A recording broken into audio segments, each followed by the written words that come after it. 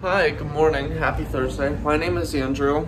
Uh, for those of you who don't know, um, my, I am a real-time editor with RTV6, which is an ABC station here in Indianapolis. So what that means as a real-time editor is I mainly focus on our digital content. Um, so I write stories, I post on social media, I send push alerts, pretty much if it's digital, we do it. Um, but I also help tell stories in real time, um, whether that's breaking news or a press conference or whatever. Um, my job is to basically work with the whole newsroom um, to get information out as fast as we can on a bunch of different platforms to everyone.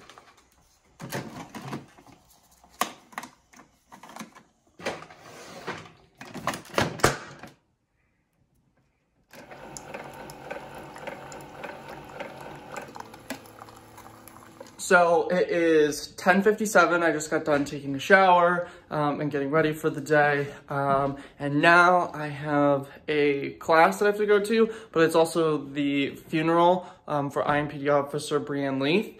Um, she was shot and killed in the line of duty last week um, and the funeral is today. So I'm gonna try to do some class, watch a little bit of that, and then I have more interviews and meetings and whatnot um, pretty much until midnight tonight kind of sprinkled in there, but I think we might need something a little higher up, and so I'm. I'm both been pretty busy, uh, but I think it would be interesting, and we can definitely reach out to them and see if they might talk about how things have been during the COVID 19 pandemic and um,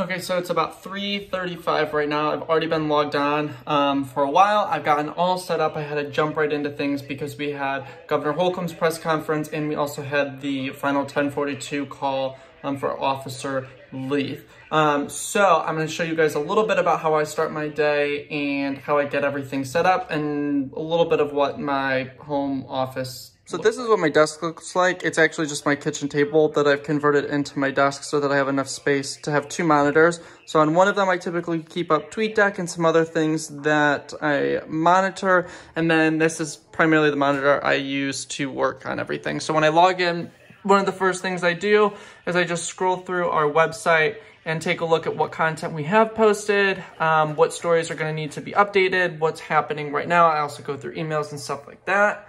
Um, I have six different scanners pulled up on the computer so we can keep monitoring things um, while we're working from home. I also have a scanner over there and one over there as well. Um, so we're keeping an eye on everything um, that's still going on. So one of the things that we do every evening as a digital team is we have a uh, evening meeting where we just kind of go over what's happening for the day. It's basically like a handoff from the morning shift to the evening crew. So, so we know what's going on, where we need to jump in and help, what's happening right now, where can we help out, and then what's our plan gonna be for the rest of the day. So we all meet online since we're all working at home and we just kind of talk about what our plans are for the evening and what is going on. I don't think Sharon did that one, but we would just double check and make sure because she's done multiple scam ones recently. I don't think she did. Just double check and make sure. So one of the things that we do is we publish web stories. So we write our own web stories and we publish them.